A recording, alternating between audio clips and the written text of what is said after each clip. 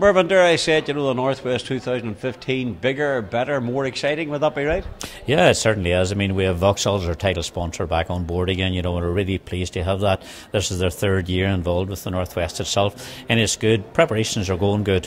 We're, we're well ahead of ourselves. Uh, still a lot of work and still a lot of pieces, if you like, in the jigsaw to fill in, but I'm fairly confident that everything's going good. And support coming from everywhere old sponsors, new sponsors, government, everybody's basically playing the part to make the Northwest very special.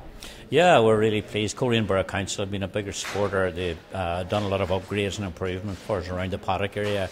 We have the the uh, facility packaging from the tourist board as well, which is really good, and that's the three-year package.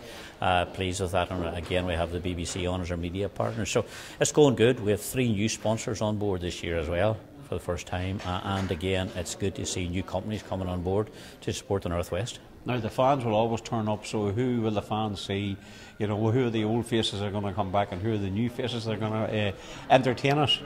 I suppose the big thing this year is that there's so much change of machinery this year, you know, and there are going to be so many of these BMWs out on the on the grid itself, you know, with the likes of your, your Alastair Seeleys, your William Dunlop, your Guy Martins, you know, uh, and then you have, you know, your other local uh, sort of, uh, I suppose, uh, supporter in Martry and with Dean Harrison. Uh, you have the Rutters, you have the McGuinnesses, you have the Jeremy McWilliams riding for Ryan, and Ryan Farquhar's back out this year as well. Just you know, so you've got so many different names there and top international riders.